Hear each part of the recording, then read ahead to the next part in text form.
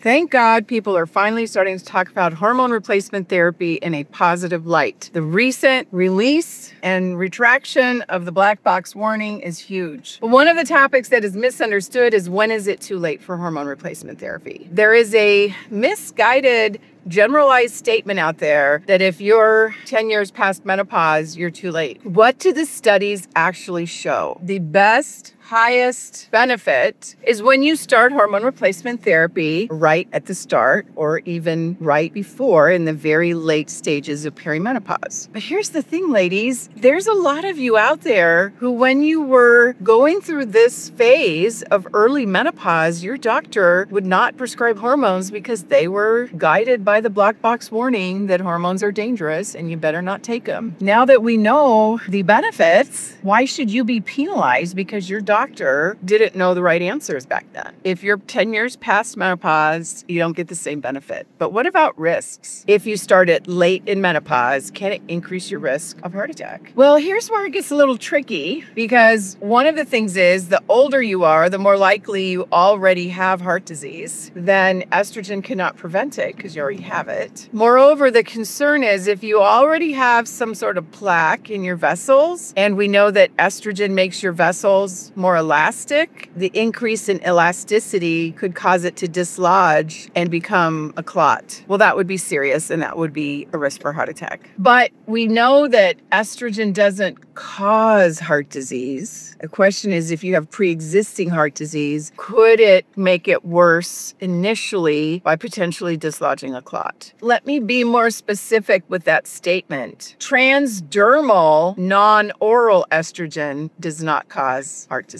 There's a huge difference between taking estrogen orally and using a cream or a patch or a pellet, something that bypasses the digestive system. Estrogen taken orally really gets mutilated by your liver because there's something called the first pass effect. There's a vein that goes straight to the liver, and before it gets distributed to your body, the estrogen gets processed by the liver, and it's that processing that increases inflammatory chemicals. And it's those inflammatory chemicals that increase the risk of heart attack and stroke. That's why birth control pills increase the risk of heart attack and stroke because it's oral estrogen. Even bioidentical oral estrogen, I don't like. It needs to be transdermal. Your ovaries did not release estrogen to your gut, they released it to your bloodstream. And then it would get distributed throughout your body and utilized and disposed of, and not the whole contents going straight to the liver. So that's a very important concept. When we look at the benefits of estrogen, heart disease prevention, if started early enough, is huge. But what about the other benefits?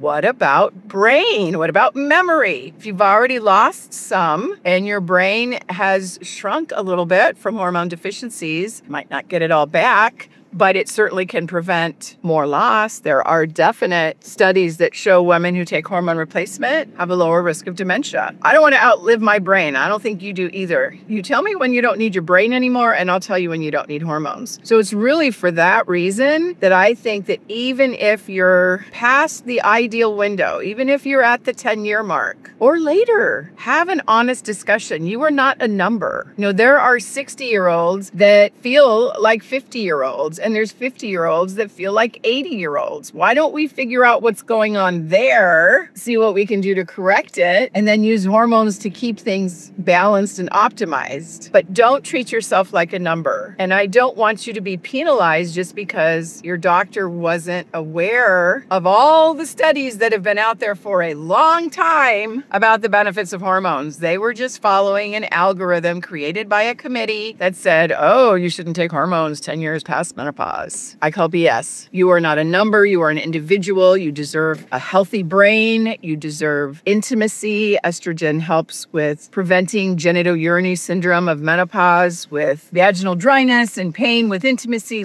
urinary leakage, bladder infections. Might need topical estrogen down there in order to get the most benefit from that. It's still important to consider. Bottom line is, there is not a number where you say you're too late for hormones. Have the conversation. You're an individual individual, you're not a number. If your doctor knows what they're doing, they may want to do some cardiac screening with some tests besides just a lipid panel to understand your risk of pre existing cardiovascular disease. And if you have signs of that, you may want to get that under control before you start estrogen, just because of that theoretic risk. You certainly don't want to precipitate an event if you have underlying disease. You deserve to be your best and hormones can help you with that. So don't take that you're too old right off the bat just based on a number. Have the conversation with someone who understands. If you have found this helpful, please forward it to a woman in your life that needs to hear it. Have a great day.